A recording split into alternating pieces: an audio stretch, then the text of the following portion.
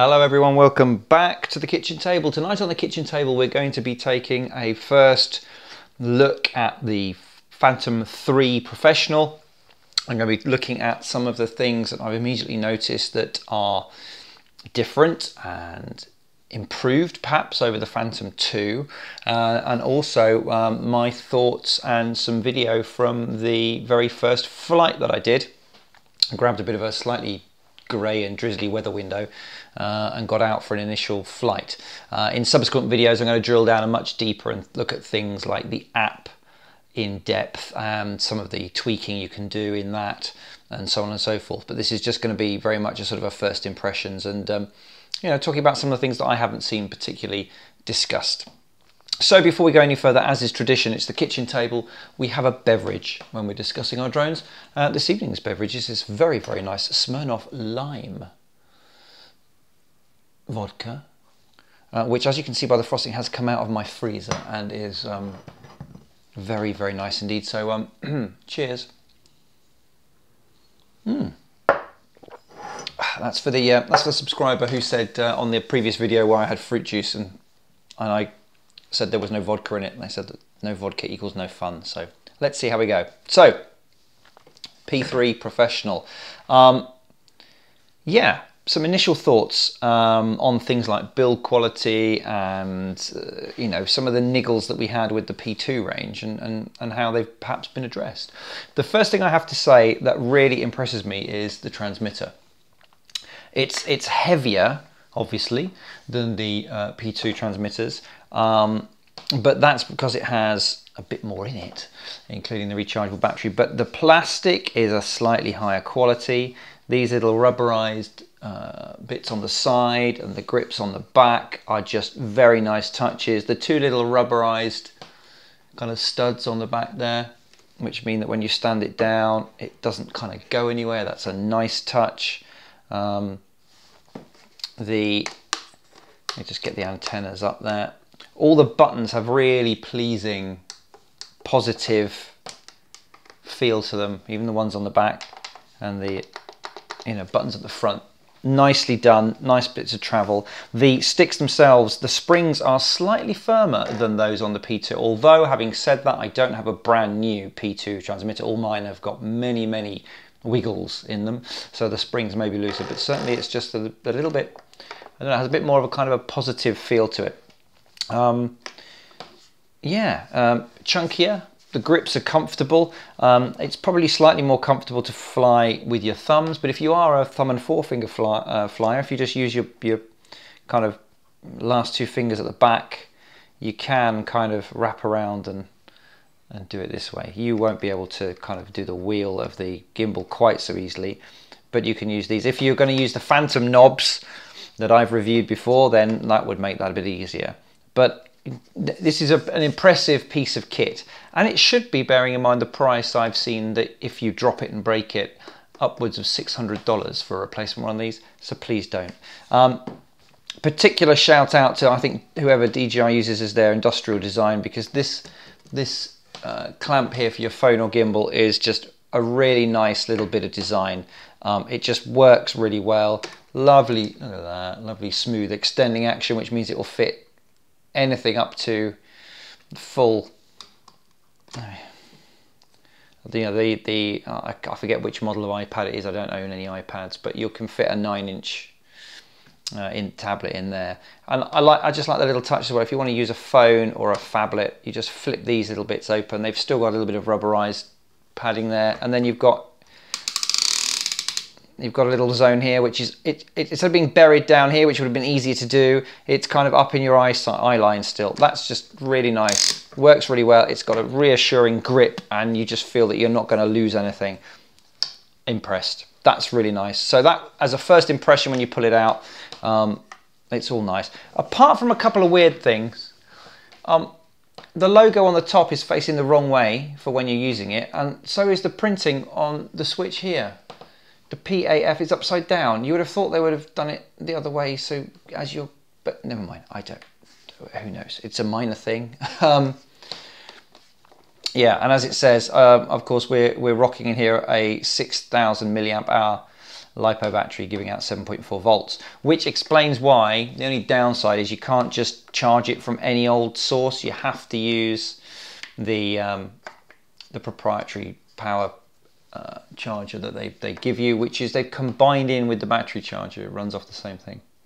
You have to use that. It would have been it would have been great if you could use USB.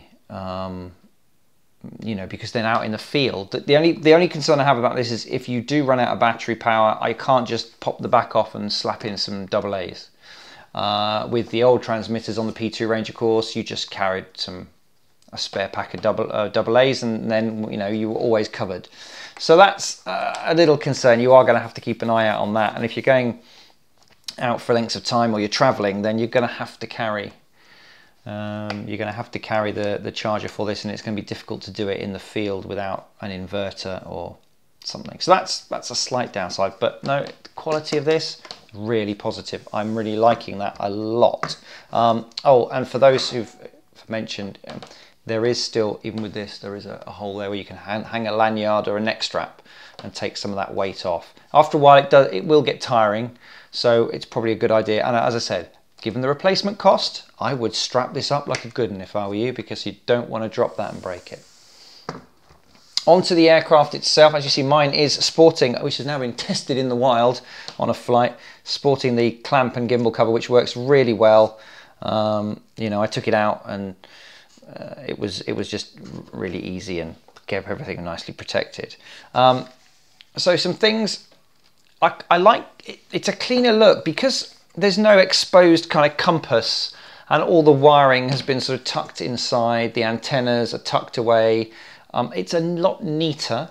Um, it's broader and taller than the than the P2. Um, you know, uh, things like the the compass being kind of hidden down in there. It's just it's just a slicker feel. The way they've mounted the optical flow system underneath is really neat. There's there's you know it's it looks as if it was meant to be there. They've even matched you know, they've even matched the same, exactly the same design of the vents on the side. So it kind of looks uh, like a, a ready to go unit, not like something they've just bolted on because it worked with, with the Inspire 1. Um, other than that, it's pretty similar. The shell is the same as the as the P2, so the plastics and everything are are the same. Although it has a slightly, it does feel slightly different to me. It feels slightly thicker, but that could just because it's new, you know, compared to the to the to the others. I don't know, could be. Um, obviously, the new batteries are are, are very much you know familiar. Um, one of the things though that you'll notice again inside is there's there's a, a bit more noise. Uh, we've got got a cooling fan in there, which is cooling the uh, optical flow system. There's a cooling fan in here as well to cool the gimbal unit. Now, I'm not a big fan, sorry, I'm not a big fan of fans um, uh, down here. Uh, it's the same reason I wasn't happy with there being a fan in the original Vision camera unit because you know when you start off you're down here in the dust. All that dust goes up and the fan is only going to help draw it in through the various things like the SD card slot or the USB port. And if I was going to be operating this in dusty or damp areas, I would definitely put something down on the ground if I was going to take off from it, a piece of board or just a bit of tarpaulin or just something, just to try and keep dust um, from getting sort of drawn in with the cooling fans. Um, and yeah, slightly different sort of um, arrangement of the battery shell there, but nothing, nothing radical. Some positive changes that I've noticed, which, well, they're positive in the sense that it stops us from having so many issues, but it's not positive in, in that I think it bodes, it, it bodes poorly for people who want to uh, either easily replace things uh, or, or mod. So one of the things that we had problems with, or some people did, was that the screws, particularly the ones in the end of the arms, were both inserted very well torqued in at the factory and used a bit of Loctite on there, a little bit of thread lock. Uh, but they also were made of really quite soft metal. So and they were Phillips head. Unless you had a really high quality, sharp, good quality Phillips screwdriver of the right size, it was really easy to just strip those out and you'd be in a world of trouble because you couldn't get them out. They've replaced them with Torx head, the little star cross section bits, which means if you get the right size, and I have had to hunt around in one of my little toolkits, if you get the right size, you should now not have that problem of stripping those, which is good. The other thing they've done though, which is, um, this is the thing that concerns me a little bit, is they've also made the main uh, the main screws here for opening up the shell, they are also that sort of star Torx type cross section. Uh, they're not so easy to get hold of, um, and that explains to me why DJI didn't include, you know, a, um, a spanner or a screw, uh, sorry, a screwdriver or a or a hex driver in the kit. Um, I'm pretty sure they're saying you don't really have any business going in here, so keep out. Um, needless to say, I am going to open this up for a future video to have a look inside, especially bearing in mind they've got rid of the um, the ESCs and the arms. But I don't know. This this seems to say to me that um, you know DJI don't expect you to go under the hood of this.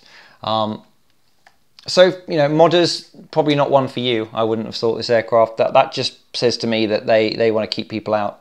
Uh, and the other thing is that it could be expensive. So, for example, previously, if you had a bit of a bad landing and you landed upside down and uh, say you cracked the antenna of your GPS unit, then actually you could take the top off, you could buy a replacement GPS unit for under £100, you could pop it in there yourself and that's fine. Now the fact that they've made all of these Torx which are kind of used quite often in industrial applications to make it more difficult for your average consumer to get in. I wonder if we're going to see not so many uh, off the shelf user replaceable parts. Pure speculation on my part. It could just be that they've gone for cheapness. They've they've they've uh, sorry, not for cheapness, for extra security to stopping them being stripped. But these were hex heads, and I never had a problem with those being stripped before. Um, so you now will need one size of Torx to get get the main ones up, a different size for these, and the motor mounts are still hex. So it's a bit of a mishmash now. Um, other than that, it's all pretty much business as usual, apart from the fairly tasteless gold stripes, which on mine, as you can see, I haven't had this open uh, yet, they're, they're a bit badly sort of put on, which is a yeah, that's already coming up. They just look like somebody put them on in the factory and they went, oh no, actually. I took them off and tried again. Yes, and the gold badge at the front. Other than that, very familiar. But, you know, as I say, it's a cleaner look. It's looking a bit more, dare I say it, a bit more Appley. Um, you know, um, DJI's founder does seem to sort of, you know, want to be the, the, the, Apple, the new Apple when it comes to drones. And yeah, a lot sleeker, um, but impressive. Um, and this unit's great. So uh, that's a quick a quick walk around and a couple of points that I noticed. Um, what I did was manage to go out for not a particularly long flight, um, 13, 14 minutes, just to get an initial feel. Um, and so let's have a look at what that was like. So hello, you join me out in the field, literally out in a field in southern Oxfordshire, um, found using the Drone Zones app for safe places and to fly your drone and good places to train and have test flights. And I'm going to have a test flight of the um, P3 Pro. Um, so I'm going to hit the record button. Ta-da! We're now recording and I'm going to sort of do a voiceover live of my thoughts of how it's going. Uh, and then you can watch the video. I'm doing it in 1080p because A, I don't have anything that can show 4K or render 4K. And by the time I upload it to YouTube, it'll be mullered anyway. So um, there's plenty of other videos out there about the video quality, but um, we'll see what we're going. So let's do the uh, good old CSC. Oh, little pulsing going on there. Um, I've um, calibrated the compass and I've updated the firmware, although it actually was up to date out the box. Um, I've done nothing else. Um, the only other thing I've done is upgraded the app to the latest version on Android, which isn't available on the Play Store. You have to download it direct from DJI's website, and then you get a good version. Uh, the one that I tried was the previous one; it wasn't quite there. So here we go. Let's, um, let's pop it up into a takeoff. Wow. First thing to say is the stability. I mean, it's a very calm day. The winds are calm. It's a little bit grey and slightly drizzly. But with those 16 satellites, the thing literally isn't moving across the ground. It's um, quite a phenomenal difference compared to what the Vision Plus would be doing by now. Um, even the uh, vertical height holding, it's literally drifting, I, I would say, two inches at most, and then it's coming back. Very impressive. Let's try the old tricky pirouette.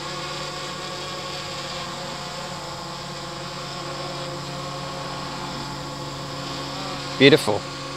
Let's try it the other way.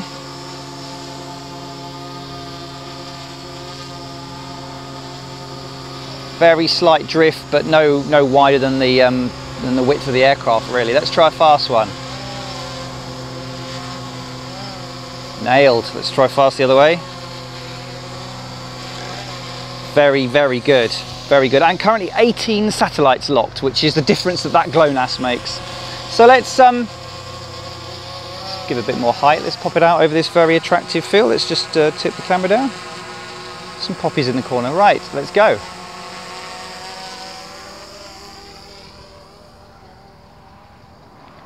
Give it a bit of height as it disappears.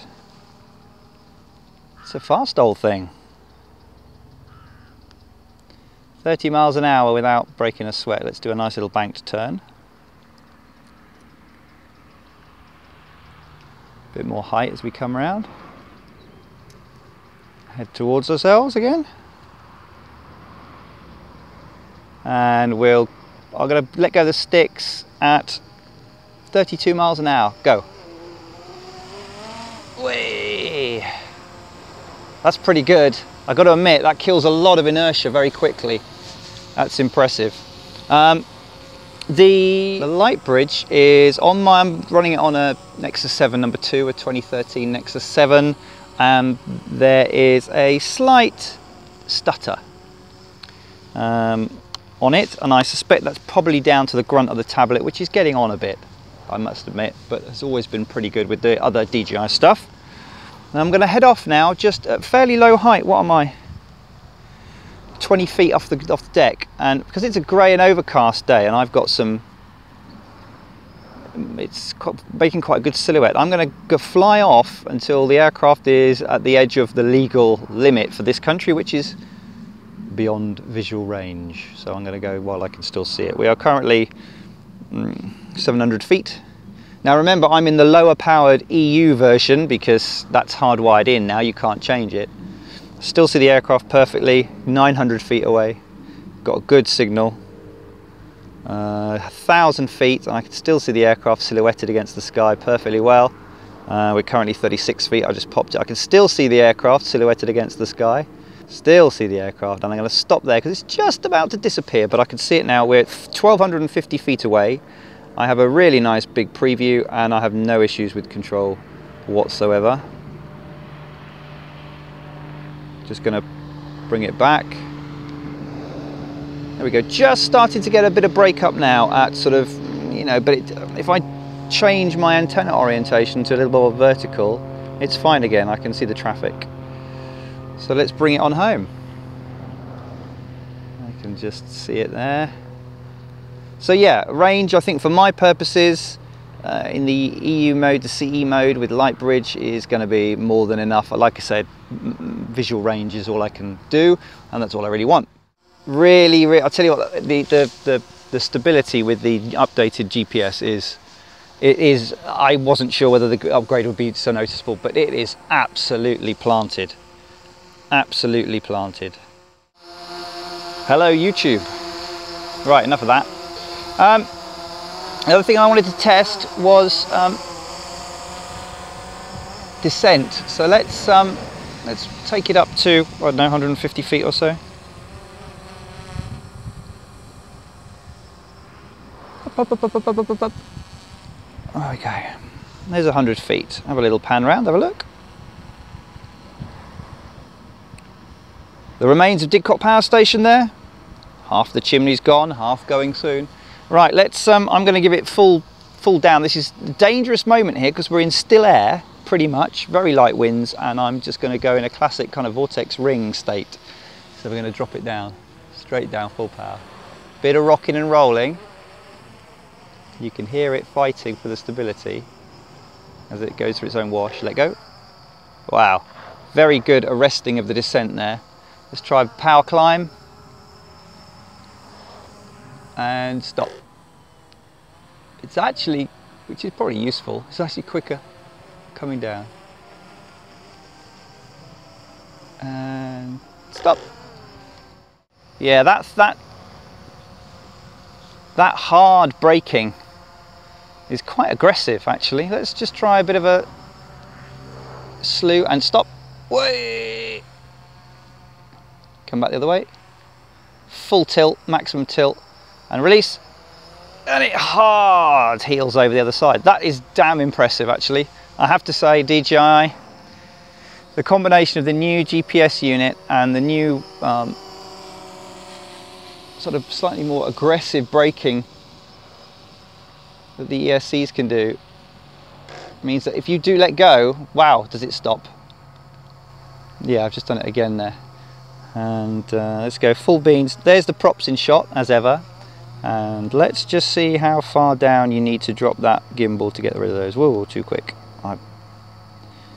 All right, full, be full beans. Hmm. Let's do it again. Go.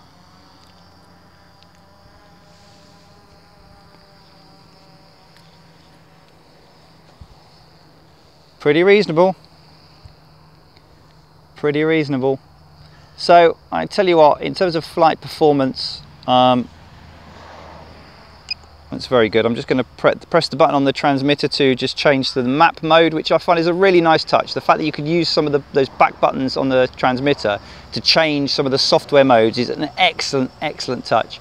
I've now got the map full screen so I can see you know my flight path and and uh, and everything else and, and I can have a good close look at, at my nose direction all the stuff that you might want to quickly have a reference to and I've not had to take my eyes off the uh, off the aircraft to reach down and work out which buttons to press press it again on the back button and I'm back to the full screen view.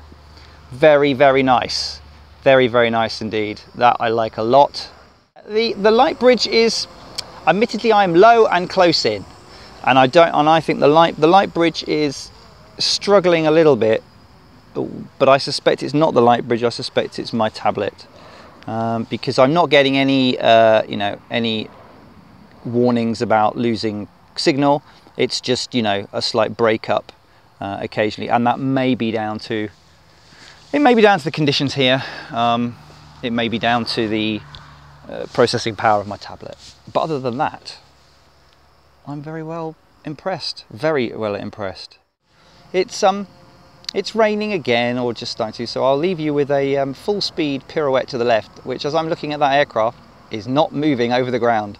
In fact, let's um, let's just do that. Let's Hello, I do like that quick gimbal. Let's let's pirouette. Now that's pretty stable. Full speed, I haven't let go of it yet. And let go. Boop. Awesome. Anyway, thanks very much and I'll see you soon back at the kitchen table. So there we are. Um, a first look and a first flight. Um, obviously nothing too challenging in those conditions, but I don't think it's unwise to take your first flight in any new aircraft in fairly benign conditions. And if nothing else, it gave me a baseline of the you know phenomenal stability. Next time out, I'll try and pick a slightly more windy day and see what it's like in uh, in a bit of the rough stuff. But um, yeah, flight wise, very very good. Um, I think if you're a beginner, I think this is going to be going to blow your socks off. It's incredibly easy to fly. I didn't have it in beginner mode, which kind of just limits you to a certain maximum speed and not too high and not too far away. Um, but yeah, it's it's ridiculously easy to fly and, and, and look good. And you saw the um, the way it was able to, you know, uh, bring itself to a halt when you let go of the sticks is very impressive. Um, one thing I noticed uh, in common with a lot of people who are reporting that out of the factory the gimbal is not sitting straight. You saw in those sort of shots over the fields there, there was a bit of an angle on the uh, on the video. Um, so that will need a um, an IMU calibration to uh, to sort that out. Um, but other than that, in terms of its actual performance in the air and, and ease of use and everything else, it's it's everything that I think um, I think people had hoped. So very good.